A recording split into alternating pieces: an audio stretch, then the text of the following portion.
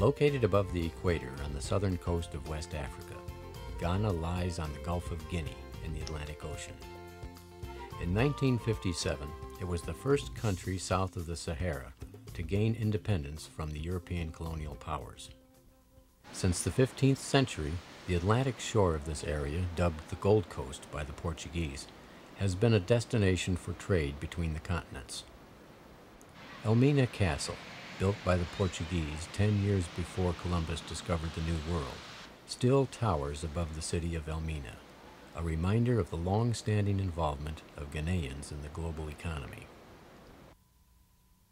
Once one leaves the coast, Ghana is a region of savanna grasslands, divided by a broad band of dense tropical rainforest. The climate is characterized by two distinctive seasons, the dry season and the wet season. Ghana is rich in its culture and its people. It is a plural society with a growing population of 19 million, six major ethnic groups and languages, and a culture where indigenous beliefs combine with contemporary politics, economics, and religion. The national economy is based largely on the export of tropical hardwoods and cocoa. Ghana is the third largest supplier of the world's chocolate, exporting 243,000 tons of cocoa a year. Commercial lumbering has led to deforestation, a major environmental problem for Ghana. The tropical forest that used to cover 34% of Ghana has been reduced to one quarter its original size. Secondary growth and savanna have taken its place. While the Ghanaian economy is largely agrarian, on the coast, fishermen daily defy the pounding surf in their small boats to supply fresh fish to the markets. In the rural areas, small villages are the homes to Ghanaian farmers who rely on root and grain crops for their subsistence. Forest products are also important. Firewood is a necessity of life. The nuts from the forest oil palm trees are used to make favored Ghanaian dishes. The Ghanaian people are moving steadily toward peaceful economic growth. A sense of optimism an entrepreneurial spirit, and a growing sense of membership and participation in the global community is found throughout society. Ghanaians have a major concern with building a future for their children. Elementary schools are part of the landscape. Literacy is a primary goal for the government, and by the mid-1990s, over 75% of Ghana's children were enrolled in primary school. Secondary education is becoming increasingly available throughout the country, while four national universities and a University College of Education provide further training for life in Ghana's changing world. Whether living in the urban or the rural areas, Ghanaians are comfortable with a dynamic culture flow in which the old and the new, the indigenous and the contemporary exist side by side and sometimes blend the handcrafted market basket competes with the plastic container. Computers are increasingly seen in the context of contemporary businesses, while nearby a woman prepares workers' meals over an open fire. The financially successful entrepreneur builds a modern house in his home village near the mud block family home in which he or she grew up.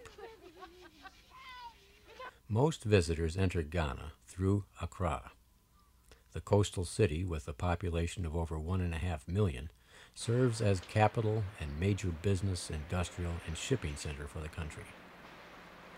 The vitality of the informal economy is apparent on the major streets of the sprawling city. Street peddlers abound, and roadside small-scale industries display their wares to the passing motorists.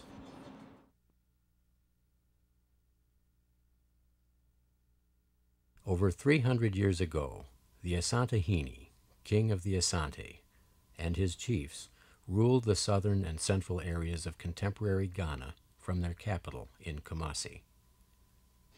Over the centuries, the Asante developed one of the world's great art traditions.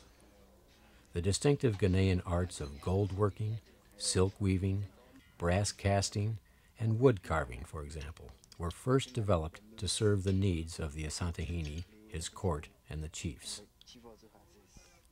To this day, one can still see displays of leadership arts in the context of important funerals, festivals, and political events, where Asante indigenous leaders appear wearing the finest of culturally important dress and surrounded by other items of leadership arts.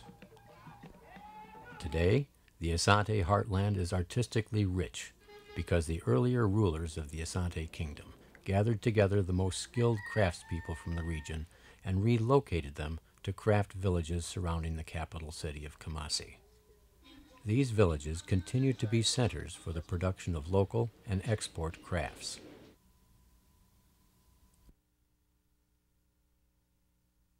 Unlike many of the world's indigenous art traditions, Ghana's arts are alive and well. As an example, the distinctive carved stool of the Asante is still commonly seen in houses, shrines, and palaces.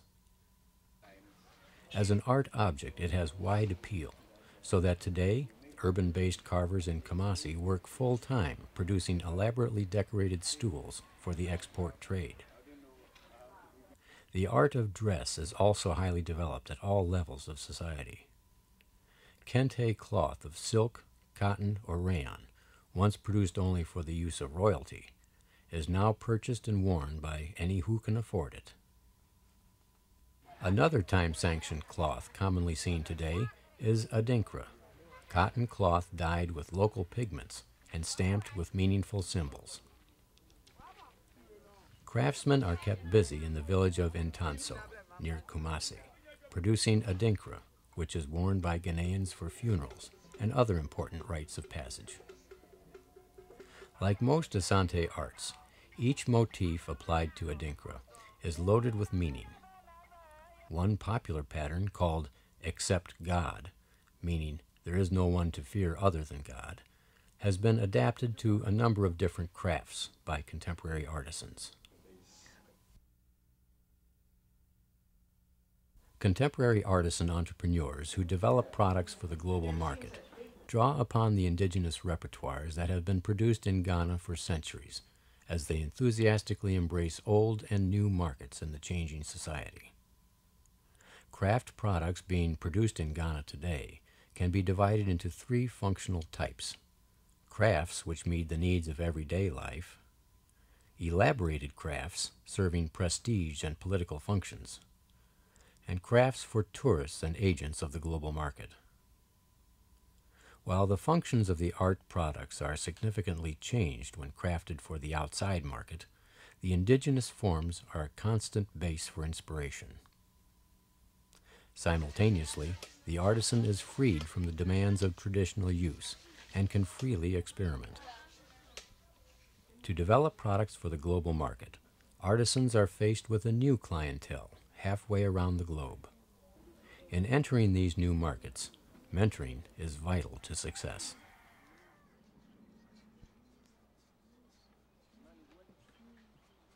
Aid to Artisans Ghana, known as ATAG, is a non-governmental organization in Accra, Ghana. With a primary goal of strengthening employment opportunities for rural and urban artisans, Bridget Kyerematen explains that ATAG provides mentoring guidance in three primary areas product design and technical assistance, business training, and marketing in the local, tourism, and global arenas. First, in the area of product design and development, ATAG links artisans with foreign consultants who bring expertise in market driven product design from the U.S. and Europe. During hands on workshops in Ghana, consultants who know the demands of the export market offer collaborative technical assistance. Second, to ensure sustainability of the artisan groups, ATAG provides basic training in production planning, costing, pricing, accounting, and quality control. Third, in order that products achieve success in the competitive marketplace, ATAG assists entrepreneurs in attending and promoting their products at international trade shows in North America and Europe. On international sometimes to really have a feel of the market out there, see other products. I saw what kind of colors were in demand, what kind of shapes the man could um, redesign and adjust to finish, you know, this help a lot to reshape our products. My first show in the US in 95 really changed my perception and everything. Suddenly I realized I could do better by using just wholly local materials as against importing this. I was also exposed to this multimedia thing. You do clay and add some bead here or some cowrie here or some stick here or some wood here. And it's working. I never thought that big a market existed. In Ghana, retail shops in Accra, at Elmina Castle, and Kakum National Park are well stocked with ATAG products for the expanding tourism market. In addition, through the ATAG Trade Network, artisans are introduced to foreign wholesale buyers and to export agents. Agents guide the artisans in financing for large orders, packaging for shipment abroad, and understanding export procedures. ATAG enters the new millennium with 10 years of mentoring among Ghanaian artisan entrepreneurs who work in diverse media. Many of these businesses have grown rapidly. Some entrepreneurs now serve as role models to other artisans who hold visions of moving into the competitive global market. In the transformation from artisan to business person, successful entrepreneurs face a number of challenges. What have these successful artisans learned that can be useful to other budding entrepreneurs? The artisans identify seven areas on which they focused as their businesses grew. Issues center around raw materials and workshop location, training, design and product development, production planning and quality control, market diversification, finances, and management. Regardless of their craft, artisans call attention to seasonal impacts on their production. For example, potters in the village of Otapanadzi long for sunny days, as clay is difficult to dig and process through sieves during the rainy season. Likewise, in Krofofrom, brass molds require bright sunlight for the several stage drying process. In contrast, the rainy season favors the gathering of grasses, which grow wild in northern Ghana. Belay, whose baskets are woven in Kumasi, regularly travels north to stockpile grasses for use during the dry season. He finds that meeting the demands for large orders is difficult when raw materials are not stockpiled year-round. Not only is production an issue, but storage for large orders can also be problematic. Peter Tamakloe of Ceramica Tamakloe and Happy Kufe of Unique Ceramics must package their pottery for large shipments outdoors. The 75 to 100 boxes then remain unprotected until delivery later in the week. For those artisans involved in wood carving, the long-term environmental sustainability of their raw materials is in jeopardy. As forests are depleted, artisans increasingly design new, smaller products that do not demand the large wood trunks used for such traditional products as the popular Ashanti stools. Wood is also essential for the firing of kilns in the production of pottery and glass beads. With a dwindling firewood supply, Nomoda Djaba of Cedi Beads cites wood as the most expensive raw material for his 30 artisan bead workshop. For artisans working in beads and brass, recyclable materials are central to their craft traditions. While reclaimed materials help to keep production costs low, disparities in recycled raw materials can lead to product inconsistencies unacceptable to wholesale buyers. For example, artisans in Krofofrom purchase brass at the scrap metal market in Kumasi. A line of decorative products produced using brass from varied sources can range in color from lighter tinges of pink to golden browns. Methods for establishing product consistency while using recycled materials are critical for attracting buyers who expect product uniformity. Artisan entrepreneurs often initiate their businesses in small rented workshops or their homes. Entrepreneurs credit the central workplace for helping to establish quality standards and to build business loyalty. When workers are scattered, as in Bile's Kumasi basket production, achieving consistent quality can be difficult. Bile must travel around from household to household to inspect production for an order of 2,400 baskets, which is due in a single month. Although entrepreneurs often start small, when their businesses expand rapidly, additional work sheds are quickly added in order to accommodate the growing workforce. Soon, what was initially a small workshop has grown to encompass a large plot of land Artisans warn that rented work arrangements are precarious and cite examples of being pushed off the land by an owner at a critical point of production. As they search for land to relocate, availability of electricity and water and convenience of transport are critical. Based on their experiences related to raw materials and workshop location, entrepreneurs recommend that artisans plan to forestall potential seasonal interruptions in production. Construct covered work and storage areas. Develop strategies for achieving product consistency with recycled materials.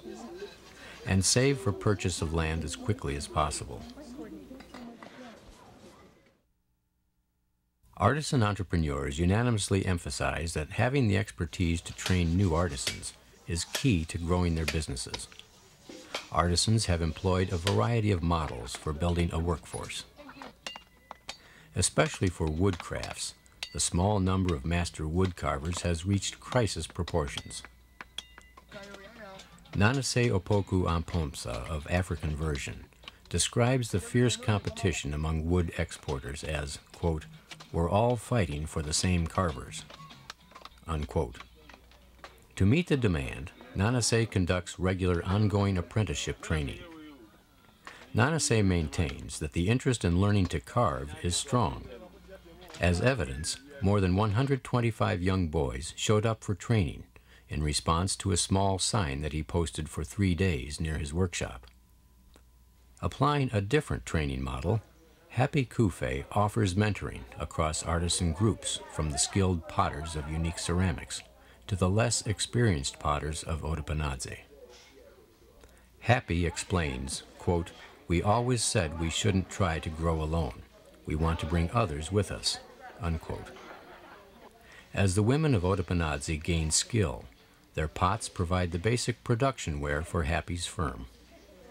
The unfinished pots from Otopanadze on the left are taken to unique ceramics, where they are glazed and decorated, as on the right. Under this model, a group of potters upgrade their skills, while the host firm, in this case Unique Ceramics, significantly expands production capacity. In yet another approach to training, Rejoice Ajasu of Mama Ray Textiles has capitalized on the large number of students who have completed secondary school, but who, due to a backlog in college and university placement, must wait a year to begin their advanced education. Mama Ray Textiles offers a one-year apprenticeship in which young people in their late teens learn the stages of batik fabric artistry, while also assisting in her production. Whether one-to-one apprenticeship, cross-group mentoring, or group training, successful artisan entrepreneurs take training for the next generation of artisans seriously. Large quantities of similar appearing products saturate the Ghanaian market. Willingness to try new designs is essential for artisans who want to build a wholesale client base. Producing only what is familiar, or what the artisan likes, does not attract wholesale buyers, nor convert them into repeat customers. For example, Cedi of Cedi Beads transferred his bead making skills from traditional opaque varieties to colorful translucent beads in a range of colors, sizes, and shapes. A large order of buttons for a U.S. apparel manufacturer resulted from these changes. Another innovative use of beads includes candle stands that incorporate beads in their manufacture. Home decoration magazines from abroad serve as a stimulus for product ideas. That's the can read the trend. They can read the trend in terms of colors, in terms of shapes, yes, trends, colors, shapes, Sure. and so on. For instance, when you look through, you might see one color which is predominant. Um, glance through, see colors which are predominant, Mhm. shapes which are predominant. Yeah. Uh, place. So they have to design something which will fit there. Certain craft media present special challenges for product development. Basketry is an example in point. Competition from Asian countries is keen due to low artisan wages. In order to maintain orders, producers such as Bile must develop ways to increase artisan efficiencies in order to reduce production costs. Only by lowering prices will the large wholesale orders which Bile has attracted remain in Ghana.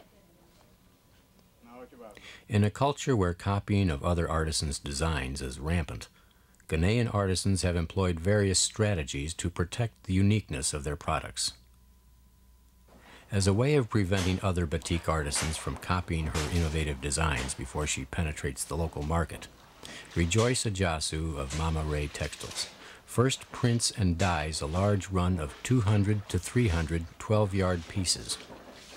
Only then does she introduce the new design to the Ghanaian public.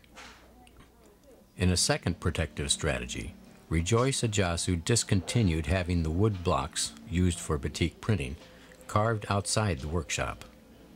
Outside carvers often quickly sold her new designs to other batik printers. To reduce pirating of her designs, Rejoice developed an innovative technique whereby her designs are cut in-house using large foam blocks. Not only are her designs protected, but the foam blocks are also highly effective for even transfer of wax to the cotton fabric. From innovative product development to external markets, to strategies for design protection, Ghanaian artisans actively contribute to their dynamic craft traditions. In the process, they advocate for balancing Ghanaian cultural uniqueness while also learning to make what the client wants. Technological ingenuity characterizes Ghanaian artisans throughout the production process.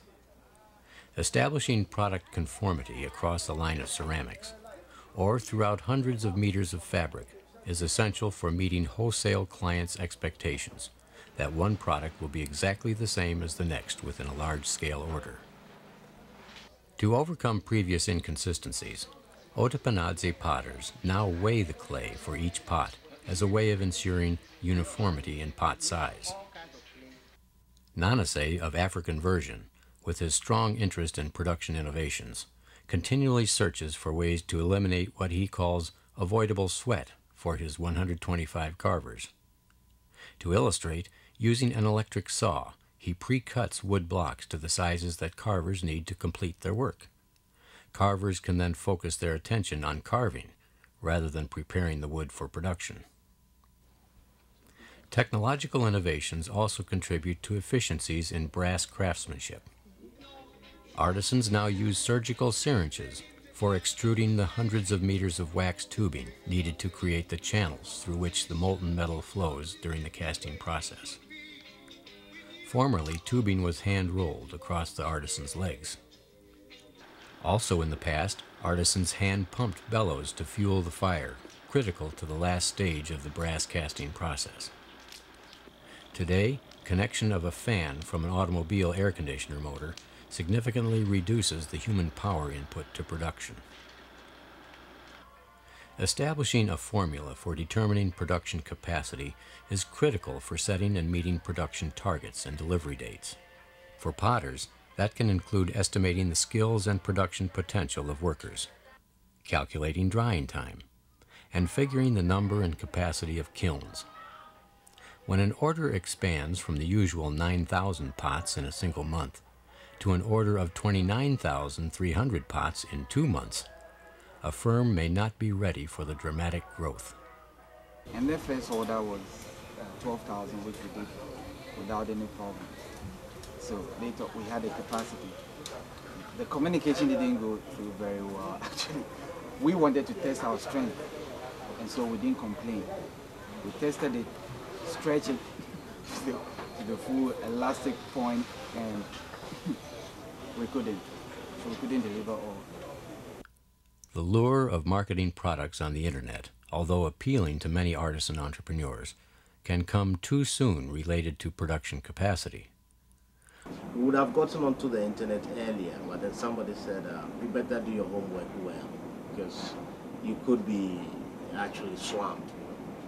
You could get so many orders, you'd be confused. So develop it better. Let's develop a few products. Let's know what exactly we are doing before we get onto the internet. Now that we should be ready. And so we are beating our time. We are trying to get into designs that we can produce relatively easy and fast. And once we can do that, Whether increasing production consistency, adapting equipment, or improving production capacity, all are critical to delivering an order on time. As Bridget Kyerematen, Executive Director of ATAG, summarizes, quote, if an artisan disappoints a buyer once, the buyer won't come back, unquote. Craft consultants have long encouraged artisans to diversify their markets among local, tourism, and export clients.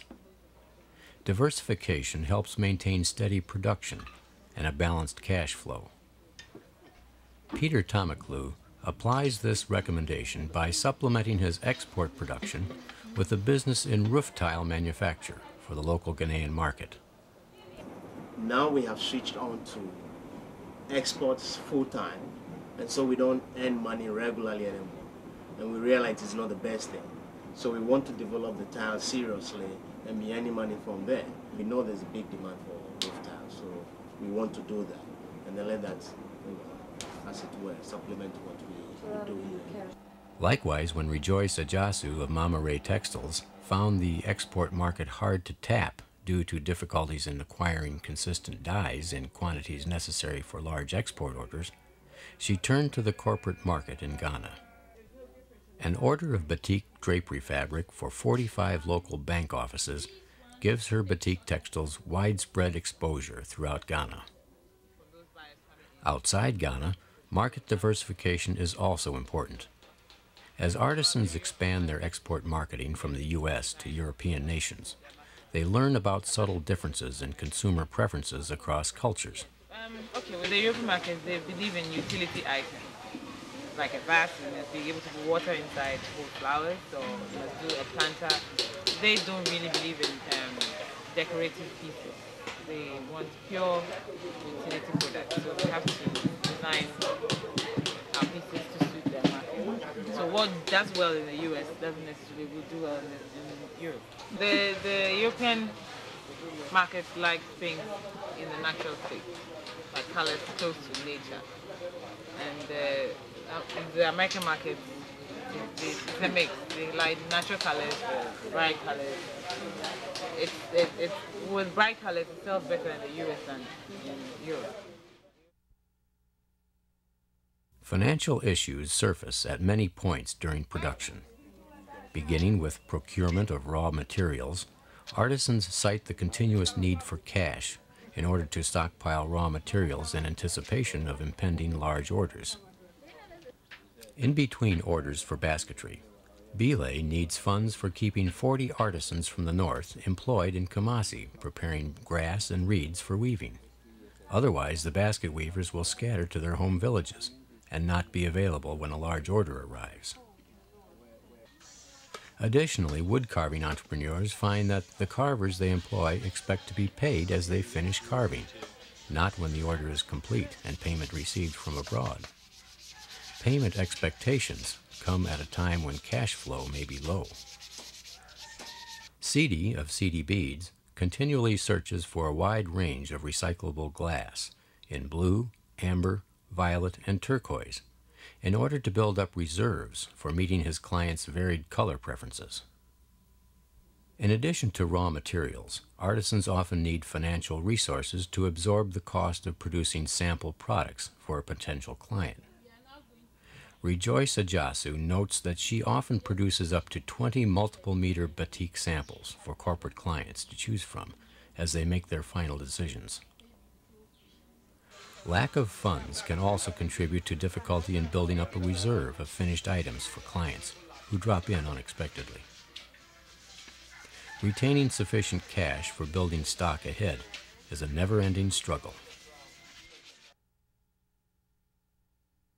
Many of the artisan enterprises mentored by ATAG started as one person organizations with a single manager and a few employees. As organizations became more complex, developing skills for conflict resolution has proven useful. Manage growth is it's not, not that easy. That's right. That's where I was going with that. Yeah. As the businesses grew rapidly, the need for reorganization